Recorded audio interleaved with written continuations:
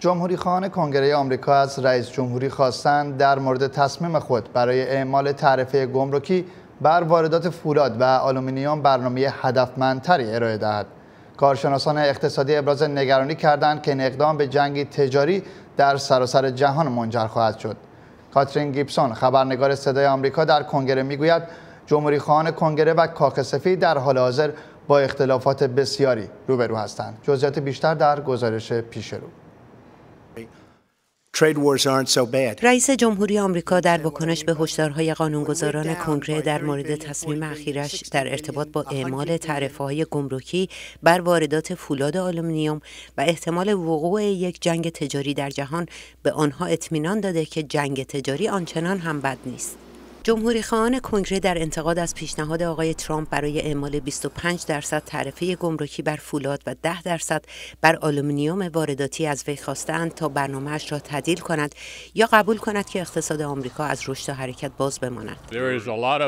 نگرانی های زیادی در میان سناتورهای جمهوری خواه وجود دارد. آنها فکر می کنند این مسئله ممکن است به یک جنگ تجاری وسیع تبدیل شود خیلی از اعضای ما دارند با دولت صحبت می کنند که بگویند تبعات این اقدام تا چه حد وسیع و فراگیر می تواند باشد و چه تأثیری بر اقتصادمان خواهد گذاشت.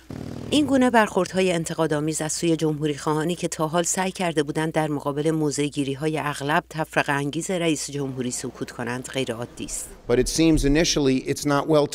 برنامه هدفمندی نیست. به نظر می رسد بیشتر به نفع چین و کمتر به نفع کانادا و اروپا است. در نتیجه باید حواسشان باشد که مشکل شماره یک ما در مبادلات تجاری چین است نه کانادا و اروپا آقای ترامپ می‌گوید اروپا سالهاست که از ایالات متحده سوء استفاده می کند. به خصوص اتحادیه اروپا همیشه به آمریکا سخت گرفته. کار رو برای ما به جای رسوندن که معامله با اونها غیر ممکن شده و تازه همه چیزشون از اتومبیل و غیره بازارهای ما رو پر کرده. هر کاری دلشون می‌خواد می‌کنن. اگر به این کار ادامه بدن روی اتومبیل هاشون 25 درصد تعرفه گمرکی می‌گذاریم. اون وقت باور کنید که دیگه این کارو نمی‌کنن.